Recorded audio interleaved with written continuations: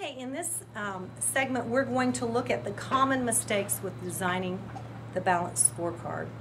Now, what I've noticed over and over again is even when I go over these common mistakes, I still see them over and over again.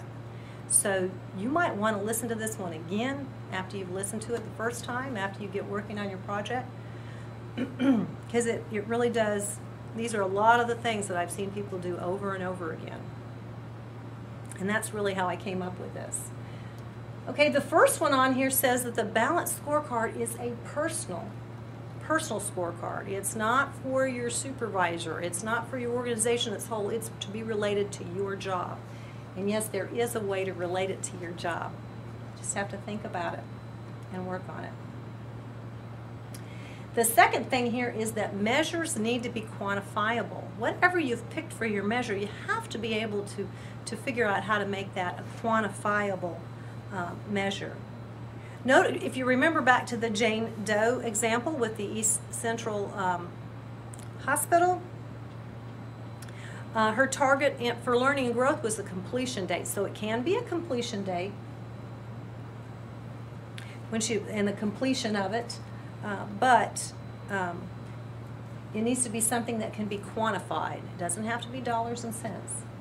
Okay, the objectives needs to match the target. In other words, whatever your goal is, it better match whatever you're trying to measure. You need to get all these things lined up. And um, the target is nothing more than quantifying whatever you've put down for your measure. So for example, for Jane Doe, her um,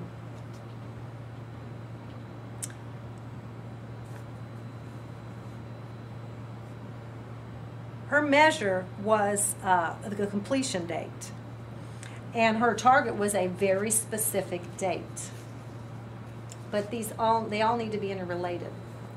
Again, the target needs to be specific. Don't tell me you're going to reduce costs. You have to put a percentage in there or a dollar amount or something. You need to, you know, you need to make the target specific. How are you going to know when you've reached that target if it's not uh, specific?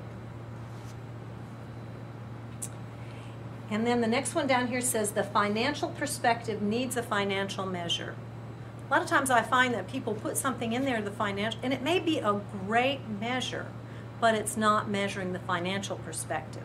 And if it's and if it is a really good measure, if it is, there may be somewhere else it can go on your scorecard. But when you're doing the financial, when I say a financial measure, I mean it needs to be dollars and cents, or it could also be uh, percentage, a percentage we're going to reduce costs by a certain percentage, or we're going to increase revenues by a certain percentage. Okay, going on. More common mistakes continued. The target should quantify the measure. I can't emphasize that enough. The target and your measure have to be right. They might be real similar. Um, for Jane, it was uh, I'm going to complete the training and then the target was the date she was going to complete it. Doesn't have to be difficult, keep it simple.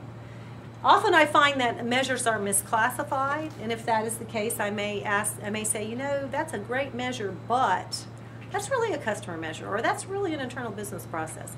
And sometimes those are very interrelated.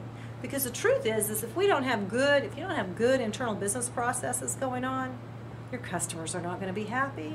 They're, you're not going to be satisfying them. They're not going to be getting the information they need, or you're not going to have on-time deliveries, or, or whatever it is you're doing. So the internal business processes have to be right for customers to be happy. And that's certainly a good example of how things are interrelated. Internal business processes aren't right. Customers aren't happy. When customers aren't happy, the business is going to suffer. You're going to lose business in the long term. Then you, and there you have your financial measure, which is lagging. Okay, sometimes measures can be classified in more, one, more than one perspective. Sometimes you may argue with me, you know, this could really be this measure.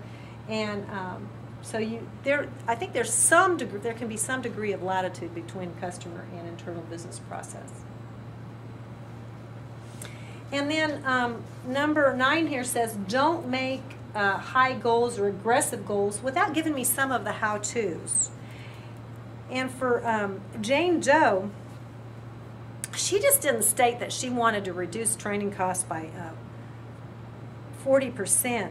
she gave me the reason how they were going to do that. They were going to use e-learning modules and they were going to reduce training costs by reducing those travel costs also that were related to training.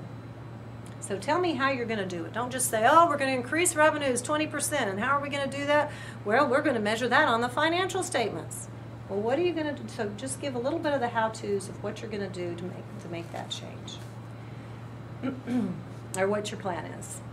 And then um, number 10 says the perspective may need more than one measure. And that was certainly true with Jane Doe's scorecard. When she first gave me her rough draft of her scorecard, there were two measures on there that she had where she had really grouped things together. And the first was the training that I went through. We had to, I really felt it was important for her to separate the training for the new employees from the training for the veteran employees. And I think there was a couple of her customer measures. She kind of grouped them together. Don't be afraid to separate. I know the project says you just need to have one, but if if it makes sense to separate them, sometimes it's not that hard. It, yeah, it requires a little more ink and paper, but if it's going to make this project more meaningful, and if you're like Jane and you wanted it to be something you could actually implement, and by the way, I have seen Jane since she did this project, which was only about six months ago, and she told me, this was last month, she said, you know what, we've been able to implement a lot of those things, and this was really a useful project. Uh, and it was just spot on with what I was doing at work. And she actually did her project early because she said it was so helpful. Um, she was really um, delighted with the results. Uh, and I'm happy I'm going to see her in graduation next month. Uh, she's going to be graduating from our program. And uh, uh, one of the things also that I've noticed, and this is with um, that don't use the textbook as one of your references. You don't need to just load up your paper with lots and lots of references. You know, you've, you've got the project directions out there. It's not necessary to use the textbook as a reference. Um,